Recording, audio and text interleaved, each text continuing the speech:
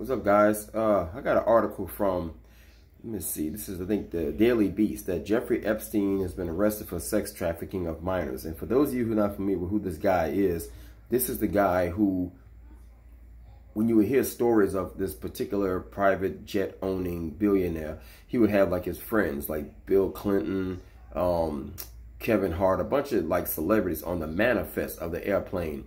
And they would fly to a place called Pedophile Island and like the the movie director Bryan Singer from the X-Men, he was part of the guys who was just like molesting and, and, having sex with all these little underage kids and a couple of boys as well. And um, I remember a story.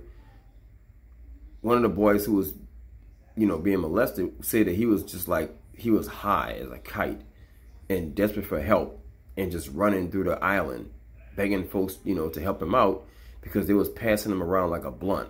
And I'm thinking that's just the most nastiest, filthiest way to, you know, to, to, to handle another human being, you know, especially somebody's son. And I am the father of, you know, young men myself. And just to think, you know, that my son could be, you know, in a situation running for help and, you know, these film directors and all these high elites, you know, just having their way with them. But nevertheless, he um, is finally um, indicted again. Previously, he was indicted, but uh, he got a slap on the wrist and nothing ever happened. So it seems as today, uh, later this evening, about maybe 6 o'clock, 7 o'clock Eastern Standard Time, he got um, arrested and he will be in court Monday. And this time, if you, if you understand understand where the case is going, th this is basically what happened. When he got, he was friends with Bill Clinton, and of course, when you you know when you're a billionaire, you're friends with the president and uh, all these other power elites. Chances are nothing, nothing's really going to happen to you. But he has been sued, uh, and a lot of the lawsuits were actually sealed. And I think because of what happened to uh, Bill Cosby, a lot of the um, prosecutors now have no issue with unsealing documents. And basically, and that that's the one that I really kind of don't. I, I like it, but I don't like it. That now when you do have a non-disclosure agreement and you may settle out of court, it seems that some kind of way, you know, if they really want to get you, they can unseal documents. I didn't know that they can do that, but you know, um, I'm gonna say unfortunately, fortunately that they will. So, um, basically, in, in the new the new indictment says, um, which according to two sources, which will be unsealed Monday in Manhattan federal court, which will which will reportedly allege that Epstein exploited dozens of underage girls in a now familiar scheme, paying them cash for um, massages and then molesting them or sexually abusing them in his Upper East Side mansion or his palatial residence in Palm Beach, Florida. Epstein will be charged with one count of sex trafficking of minors and one count of conspiracy to engage in trafficking with minors, which could put him away for a maximum of 45 years. The case is being handled by the Public Corruption Unit of the Southern District of New York. So I'm thinking I, have never ever heard of a billionaire being successfully um, convicted, you know, and, and sentenced to any jail time. Now, of course, internationally, you'll have, you know, these guys, you know, these uh, oil czars like in Russia, and they'll be, you know, put in jail or they'll just be executed or killed some kind of way. But in America, I don't think, I think maybe um the guy that stole money, what his name is, um the old Jewish dude, um I think Bernie Madoff. I think he got a he may have been a billionaire who was um convicted, but I don't think he was like a pedophile or nothing like that.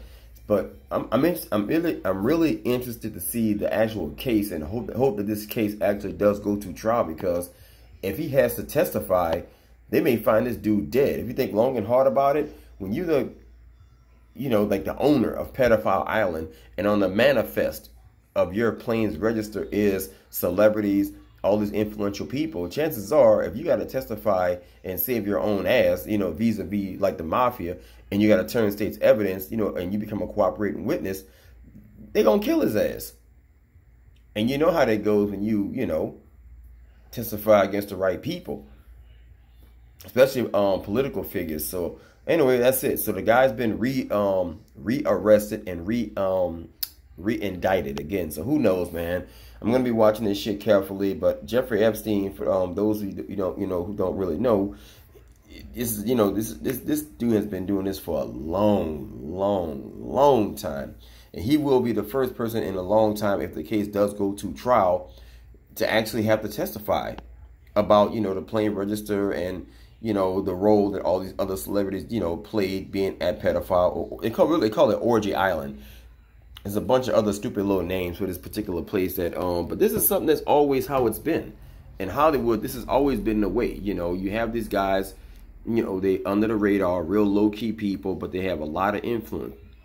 Um, the hedge funders, just like the guy, um, he was killing all these uh, Ed Buck Democrat guy. He was, you know, poisoning and having sex with all these young black dudes, young, you know, gay black men. He flew under the radar. Nobody had no idea who this guy was until black men just kept turning up dead in this dude's house. And all these young girls, you know, have been, you know, making a case to the Miami Police Department.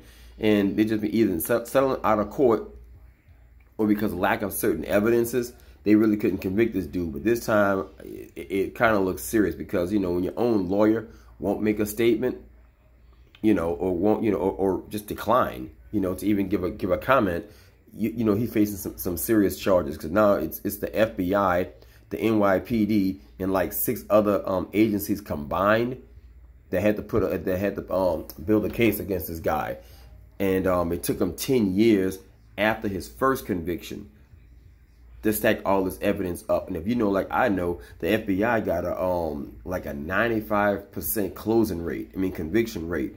So this shit might be real, guys. Anyway, um, I'm about to go to sleep, man. Hit like, share, and subscribe. I'm out of here. Also, hit the alert bell if you do plan to subscribe so you get um alerts because YouTube been suppressing all my videos. Anyway, guys, I'm out of here.